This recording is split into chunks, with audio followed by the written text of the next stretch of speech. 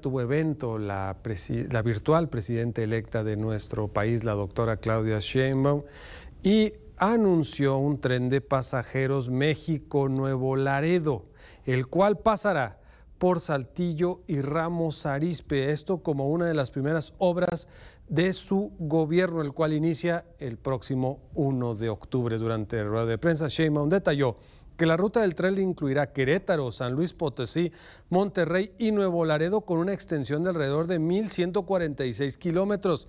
De acuerdo con el proyecto, la idea es que en el mismo derecho de vía utilizado por los trenes de carga se haga el de pasajeros, aunque no se descarta la idea de mover las vías de carga y de manera paralela activar el de pasajeros.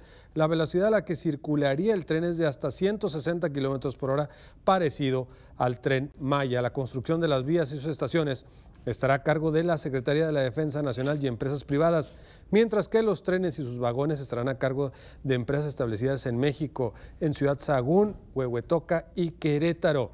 En la ficha expuesta por Sheinbaum se dio a conocer que la construcción comenzará el mismo 1 de octubre de este año y se terminará el 13 de diciembre de 2029, es decir, cinco años y dos meses de obras. Y en este trazo, justo como lo estamos viendo en pantalla, este tren de pasajeros pasará por Saltillo y Ramos Arispe.